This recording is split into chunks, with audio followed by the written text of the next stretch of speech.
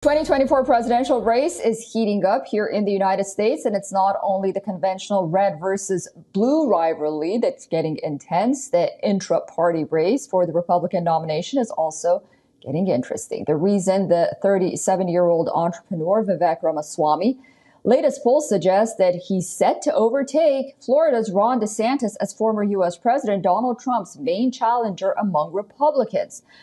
Florida Governor Ron DeSantis and Vivek Ramaswamy both now have the support of 12% of Republican primary voters. The numbers were revealed in a Kaplan Strategies poll. Earlier, a Harvard Harris survey put DeSantis on 12% and Ramaswamy on 10%. Harvard Harris survey noted that DeSantis was, quote, losing steam to Ramaswamy. Like DeSantis, Ramaswamy is also a graduate of both Harvard and Yale. Some believe that the political novice difference between the two is refusing to criticize President Trump.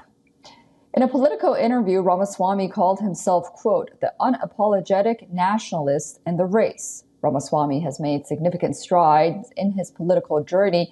He outperformed six other hopefuls by more than double, marking a significant surprise in the polls. While DeSantis remains a top tier candidate among non Trump choices, he now shares this status with Ramaswamy. Ramaswamy has reportedly attracted 65,000 small donors. This has put him well above the threshold of 40,000 to qualify for the first Republican TV debate on August 23rd. Former Vice President Mike Pence is struggling to reach that threshold. But the bad news for DeSantis does not end in Ramaswamy. Former UN Ambassador Nikki Haley polled at 14% in a Fox Business News survey.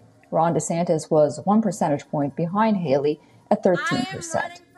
As the Republican race for number two is getting cutthroat, Donald Trump is still comfortably placed at number one with a huge margin.